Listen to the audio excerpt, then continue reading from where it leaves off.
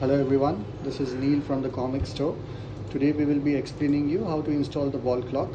So when you receive your shipment, you'll be receiving these items. Firstly the clock, then the hanger, the machine, there will be a nut and three hands that is the hour, minute and the seconds.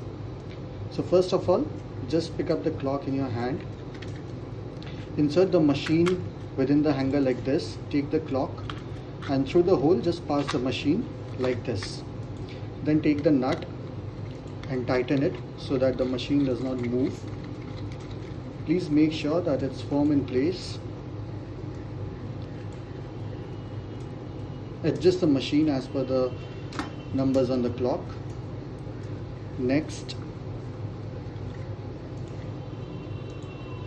take the hour hand pass it through the nut to the neck like this.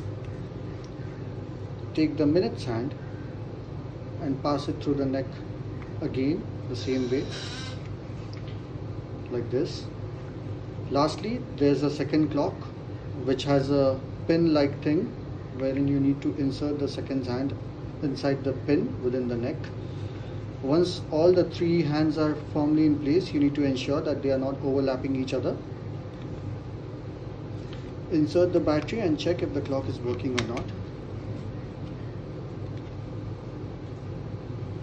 If it's not working, you can get in touch with a support team. Thank you so much. Have a good day.